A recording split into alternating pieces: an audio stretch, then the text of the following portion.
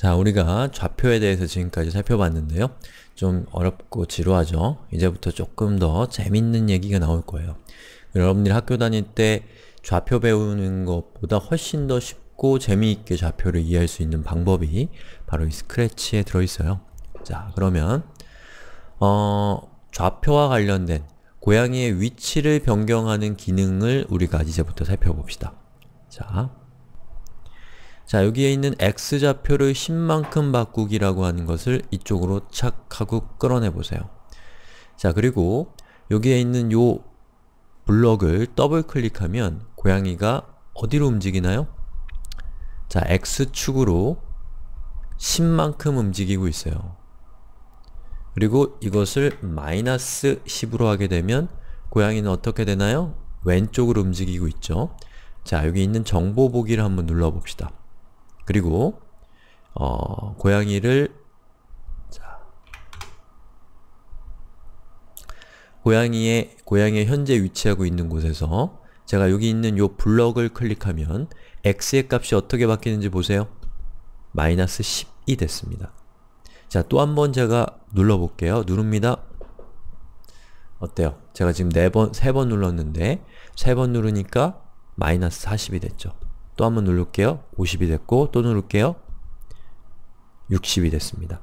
즉, 어, 좌표를 무엇 무엇만큼 바꾸기 라고 하는 이 기능은 만큼 바꾸기라는 기능은 현재 고양이가 위치하고 있는 그 좌표에서 여러분이 지정한 이 숫자만큼 고양이의 좌표값을 바꾼다 라는 뜻입니다.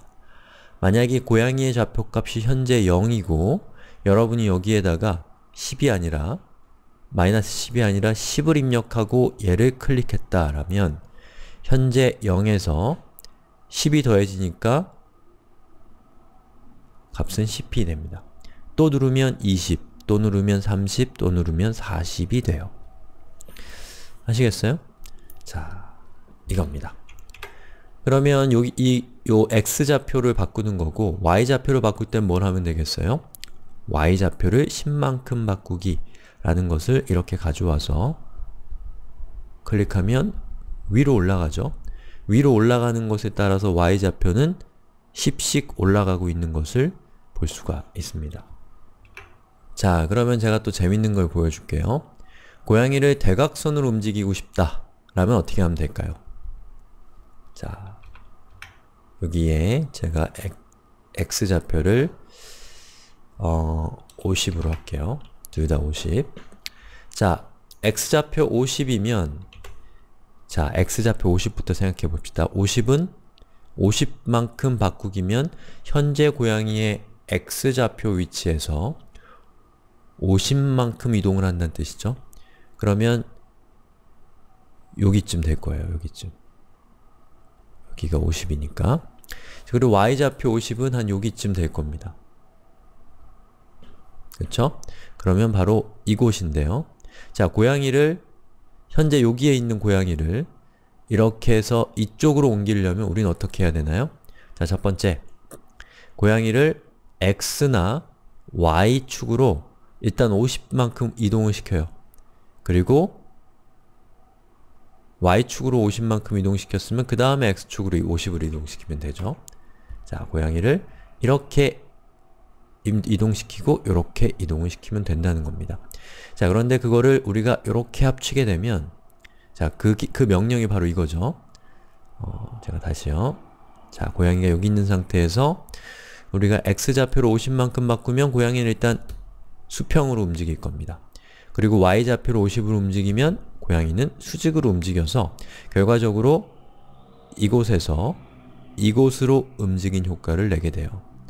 자, 이거를 우리가 따로따로 클릭을 했는데 따로따로 클릭하는 거 좀 귀찮잖아요. 그런 경우에는 이렇게 이 두 개의 블록을 착 붙이는 거예요.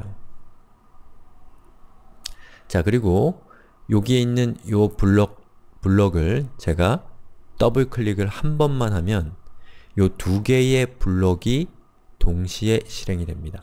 동시는 아니고 위에 것부터 아래 거의 순서대로 실행이 돼요. 한번 해볼까요? 어때요? 고양이가 대각선으로 움직이고 있죠? 왜냐? x로 50 움직이고 y로 50을 움직이는데 그게 너무 빨리 움직이니까 우리 눈에는 대각선으로 움직이고 있는 것처럼 보이는 거예요. 자, 이해가 되세요? 이게 바로 무엇 무엇만큼 바꾸기 라고 하는 겁니다. 자, 우리가 이런 기능을 알고 있어야지 우리가 게임 같은 것들을 만든다고 했을 때 그 캐릭터를 왼쪽으로도 가고 오른쪽으로도 가고 점프를 하게 하고 이런 것들을 바로 이런 기능들을 이용해서 우리가 만들 수 있게 되는 거예요. 그래서 이런 것들이 아주 중요한 것이라는 거죠. 자, 이번 시간에 배운 거 한번 우리 정리해 볼까요? 자, 무엇 무엇만큼 바꾸기 라고 하는 이 블럭은 현재 고양이가 위치하고 있는 그 위치에서 우리가 여기에 입력한 그 값만큼 고양이를 이동시키는 기능입니다. 고양이의 현재 위치를 기준으로 해서 그리고 블럭을 이렇게 이렇게 붙여넣게 되면 이 블럭이 하나의 큰 블럭처럼 돼서 우리가 명령을 내리면 저것들이 같이 실행이 된다 하는 것도 여러분이 기억해 두시면 좋겠네요. 자 그러면 이번 시간 은 여기까지 하고요. 다음 시간에는 예, 좌표로 바꾸는 또 다른 방법을 우리 살펴보도록 하겠습니다.